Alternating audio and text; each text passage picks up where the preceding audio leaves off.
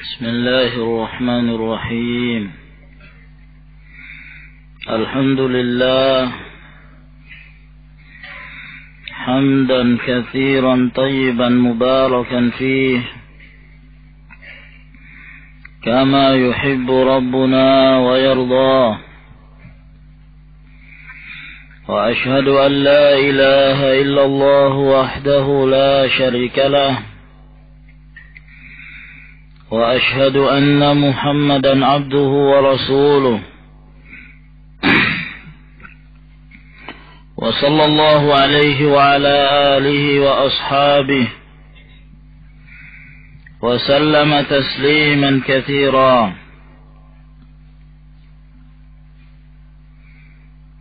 Kita telah mengetahui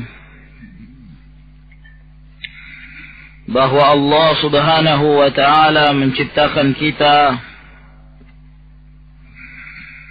semata-mata dalam rangka untuk beribadah kepadanya dan menyembah dan mentauhidkannya. Dan inilah hakikat penciptaan manusia. Dan karena rahmat Allah Subhanahu wa taala terhadap umatnya ini. Maka Allah Subhanahu wa taala memberikan kepada umat ini satu kenikmatan yang besar. Yang mereka jadikan sebagai petunjuk di dalam mengamalkan agama tersebut. Di dalam beribadah yaitu dengan disempurnakannya agama Allah Subhanahu wa taala. Sehingga apa pun yang mereka alami dan yang menjadi permasalahan dan urusan mereka dalam perkara ibadah Cukup bagi mereka kembali kepada kitabullah dan kembali kepada sunnah Rasulullah sallallahu alaihi wa alihi wasallam. Di saat mereka berhadapan dengan Allah Subhanahu wa taala, di saat mereka meninggal, maka mereka memiliki hujjah terhadap apa yang akan mereka amalkan Jikalau mereka termasuk orang-orang yang komitmen dengan Al-Quran dan Sunnah, maka mereka senantiasa beramal dengan dalil wal hujjah wal burhan. Adapun mereka yang beramal sesuai dengan hawa nafsu mereka tanpa dalil dari Al-Quran dan Sunnah, maka tentunya mereka fi mereka dalam keadaan kecelakaan, dalam keadaan tidak mendapatkan petunjuk.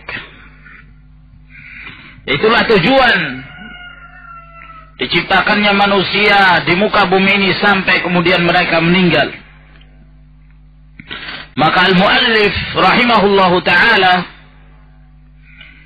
yang menyusun kitab ini dengan susunan yang demikian indahnya setelah beliau menjelaskan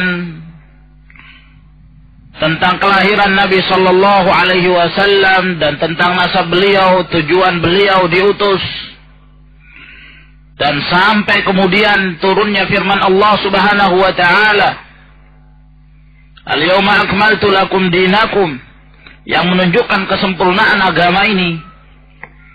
Lalu kemudian setelah itu beliau meninggal, dan mewariskan kepada umat ini Islam yang sempurna.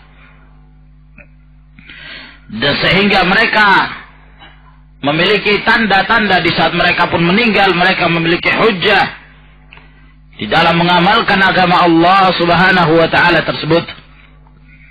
Maka setelah beliau menjelaskan tentang kesempurnaan agama, maka beliau mengingatkan kepada kaum muslimin bahwa bagaimanapun kehidupan manusia di muka bumi ini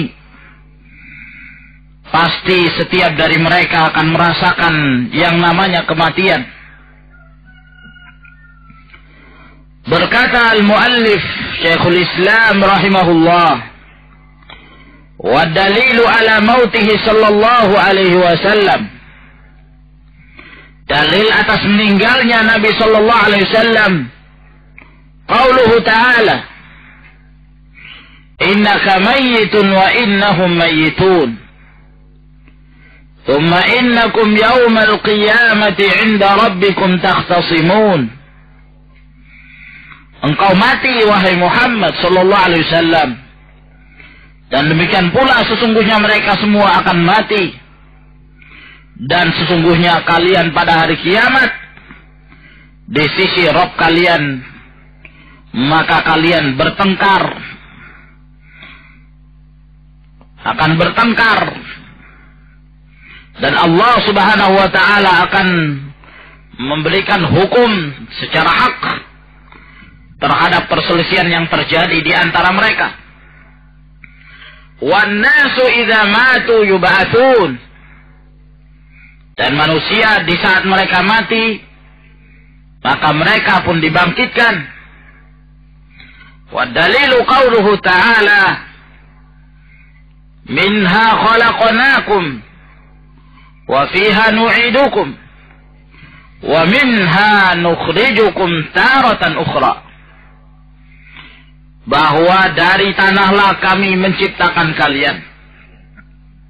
Ketika Allah Subhanahu wa taala memulai awal penciptaan manusia yaitu Adam dimulai dari tanah. Wa fiha nu'idukum dan pada tanah itu kami kembalikan kalian. Di saat kalian dikubur wa minha nukhrijukum taratan ukhra dan dari tanah itu pula kami keluarkan kalian sekali lagi. Wa qala ta'ala wallahu anbatakum minal ardi nabatan.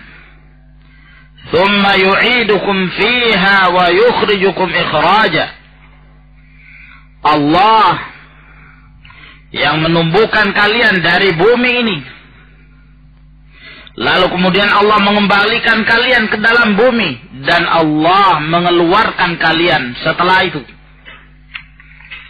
Dua dalil yang disebutkan oleh al-muallif rahimahullahu taala ini sebagai dalil bahwa al-ba'ts al-maut thabit di kitabillah subhanahu wa ta'ala kebangkitan setelah mati adalah merupakan perkara yang telah ditetapkan di dalam Al-Quran, di dalam Sunnah Nabi Sallallahu Alaihi Wasallam, dan telah sepakat al-ummah di dalam menetapkan adanya hari kebangkitan tersebut. Maka di sini beliau menjelaskan bahwa mereka terlebih dahulu mengalami kematian, siapa pun mereka Jangankan kita, makhluk yang termulia Rasulullah sallallahu alaihi wa alihi wasallam beliau pun mengalami kematian. Dan ini telah kita sebutkan pada pertemuan yang lalu di saat kita menjelaskan tentang sempurnanya dakwah Nabi sallallahu alaihi wasallam dan beliau berkhutbah di hadapan para sahabat bahwa beliau memilih apa yang ada di sisi Allah Subhanahu wa taala. Berkata Al-Allamah Ibnu Utsaimin rahimahullah, "Fa fi hadhihi al-ayah" Di dalam ayat ini anna Nabi sallallahu alaihi wasallam bahwa Nabi sallallahu alaihi wasallam wa man ursila ilaihim dan siapa yang diutus kepada mereka maitun. Mereka semua mati. Mereka semua mengalami yang namanya kematian. Wa annahum sayakhtasimuna 'inda Allah yaumil qiyamah dan bahwa mereka akan berselisih di sisi Allah Subhanahu wa taala pada hari kiamat antara mukminin dan kafirin fayahkumu bainahum bil haqq maka Allah Subhanahu wa taala akan menegakkan hukum secara hak. Wala yaj'alallahu lil kafirina 'alal mu'minina sabila. Dan Allah tidak akan menjadikan jalan sedikit pun untuk memenangkan orang-orang kafir terhadap kaum mukminin. Maka mereka mempertanyakan tentang hal tersebut akan tetapi Kematian pasti akan menjemput mereka. Dan kebangkitan itu pasti akan mereka alami, siapa pun mereka. Lalu kemudian beliau menjelaskan bahwa di saat mereka telah mengalami kematian, maka mereka akan menghadapi hari berikutnya. Itulah yang disebut dengan yaumul ba'atsi wan nusyur. Hari kebangkitan hari al-akhirah setelah mereka mengalami kematian setelah mereka mengalami dua alam alam dunia wa alamul barzakh maka mereka mengalami alam yang ketiga yaitu alamul akhirah. Dan ini sabit. Dengan ditiupkannya sangkakala. Dan terjadi khilaf sebagaimana yang telah pernah kita sebutkan di kalangan para ulama tentang jumlah tiupan sangkakala.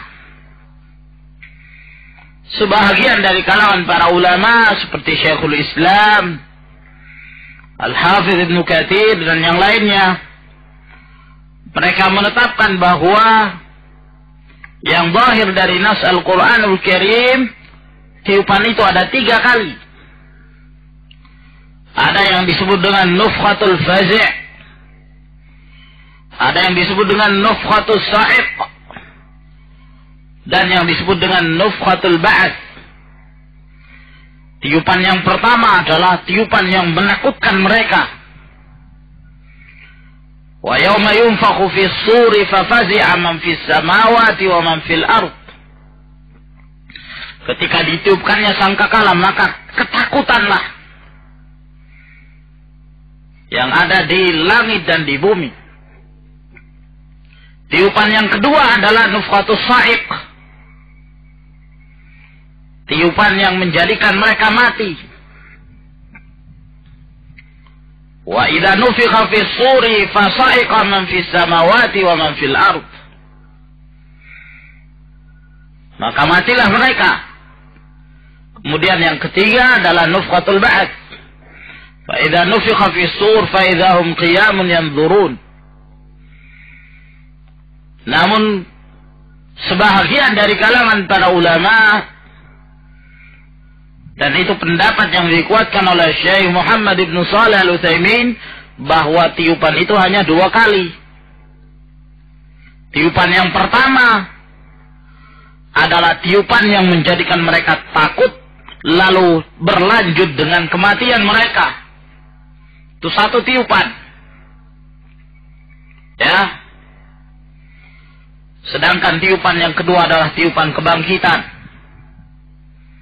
Dan telah disebutkan di dalam hadis Abi Hurairah radhiyallahu taala an bahwa antara tiupan pertama dan kedua arbaun berselang selama 40 wallahu a'lamu bissawab apakah itu 40 hari ataukah 40 bulan tidak dijelaskan Naam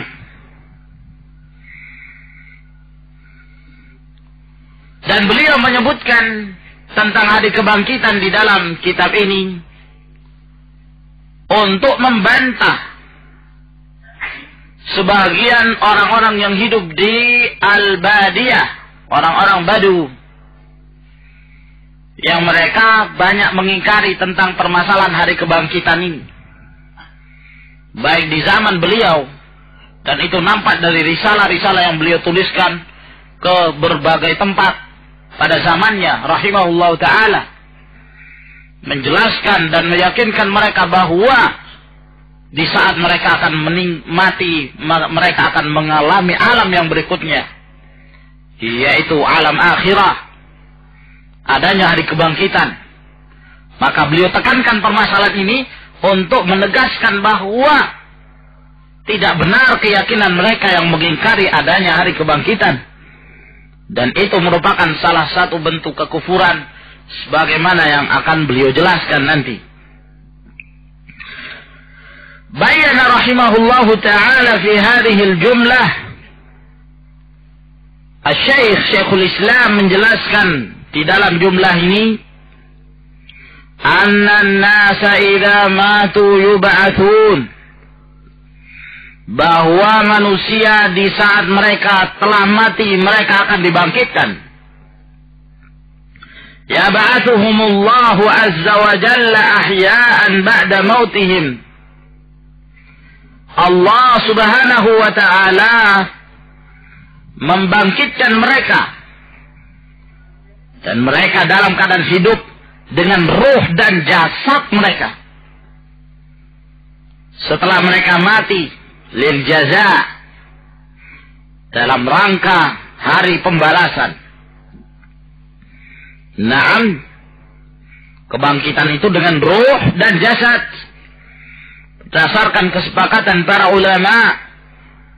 Dan diingkari oleh sebagian falasifah. Seperti Ibn Sina. Al-Farabi dan yang lainnya. Wahada huwa natijatu min irsalir rusul.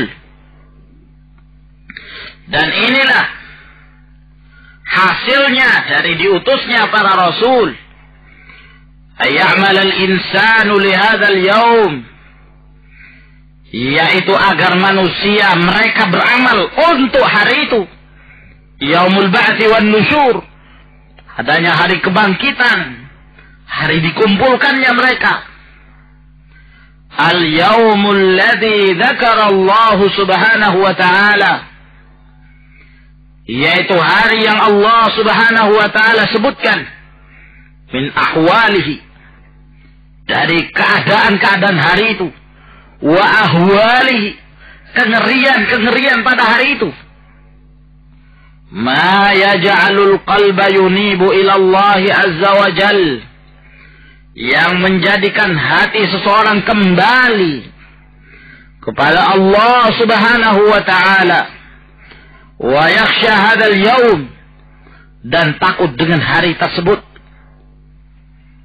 Hari yang pasti akan datang. Dan seorang manusia tidak akan menghindar. Dan tidak mampu mereka untuk menghindar dari adanya hari tersebut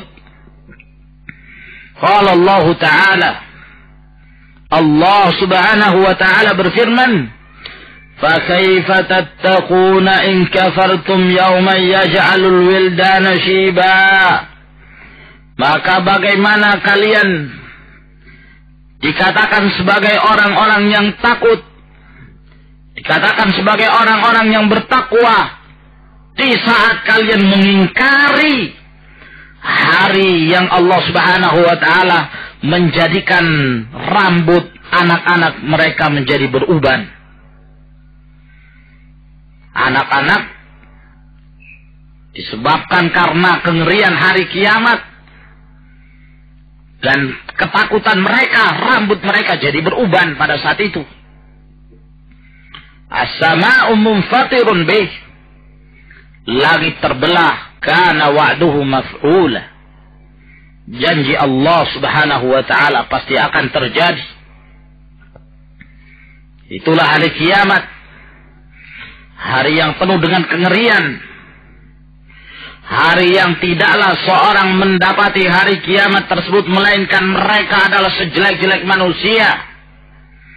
Inna min syirarin nas man tudrikuhumus sa'atu wa ahya.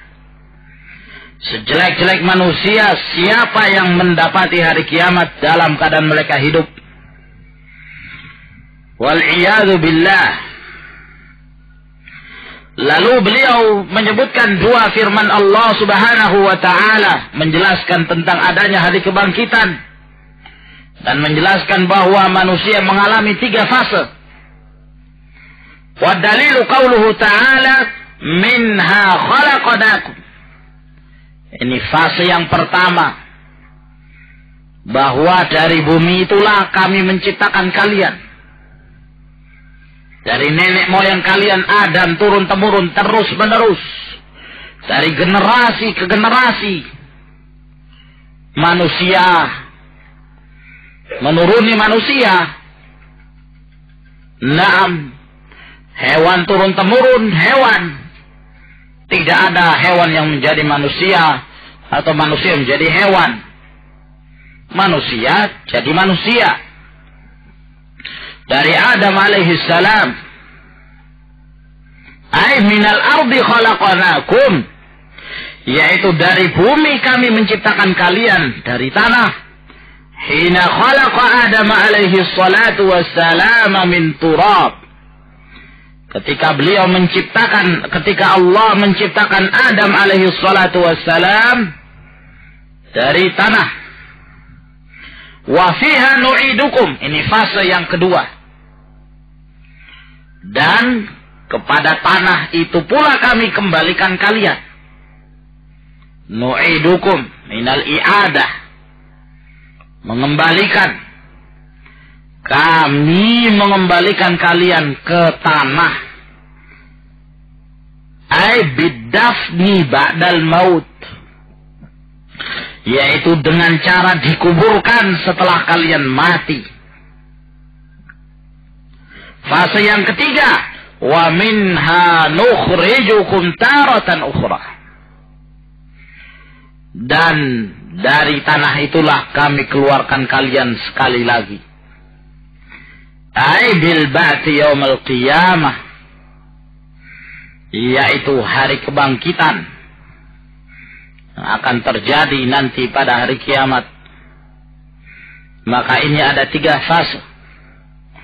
Ada tiga rumah yang akan ditempati oleh manusia. Dan hendaklah mereka mempersiapkan rumah yang terakhir. Yang merupakan tujuan mereka. Yang terakhir pula. Wa qala ta'ala dan ayat yang kedua yang beliau sebutkan adalah firman Allah Subhanahu wa taala. Wallahu anbatakum minal ardi nabata. Allah yang menumbuhkan kalian dari bumi. Thumma yu'idukum fiha. Kemudian Allah kembalikan kalian ke dalam bumi wa yukhrijukum ikhrajan. Lalu Allah mengeluarkan kalian. Maknanya persis betul dengan ayat yang sebelumnya. Bahwa manusia mengalami tiga fase ini. Hadhil ayatu ayat Allah Subhanahu wa taala ini muwafiqatun tamaman liqaulihi taala. Itu sesuai ya sama persis dengan firman Allah Subhanahu wa taala yang sebelumnya منها خلقناكم وفيها نعيدكم ومنها نخرجكم تارة أخرى. والآيات في هذا المعنى كثيرة جدا. آيات آيات دي dalam makna إني sangat banyak sekali. وقد عبد الله عز وجل. Dan sungguh Allah subhanahu wa ta'ala telah penciptaan tersebut. Wa a'ada fi itsbatil ma'ad. Dan Allah Subhanahu wa taala mengulangi ayat-ayat tersebut dalam rangka untuk menetapkan adanya hari kembali. Hatta yu'minan nasu bidzalik. Agar kemudian manusia beriman tentang adanya hari kebangkitan itu wayasdadu imanan dan semakin bertambah keimanan mereka. Wa ya'malu lihadal yaumil azim. Dan mereka beramal untuk hari yang agung hari yang besar ini. Alladzi nas'alullah subhanahu wa ta'ala. Di mana kita meminta dan memohon kepada Allah subhanahu wa ta'ala. Ayyaj'alana minal amilina lah agar kemudian kita termasuk di antara orang-orang yang beramal semata-mata ikhlas untuk Allah wa minas su'ada'i fi dan termasuk di antara orang-orang yang mendapatkan kebahagiaan dalam beramal dalam ikhlas dalam mengamalkan apa-apa yang diperintahkan oleh Allah Subhanahu wa taala. Sebab tidak ada kebahagiaan yang merupakan kebahagiaan abadi. Melainkan di saat mereka diberikan hidayah untuk menghidupkan Al-Quran dan mengamalkan sunnah Rasulullah sallallahu alaihi wa ala alihi wasallam. Wallahu alam bisawab. Ila huna ya akhwan. تفضلوا حفظكم الله.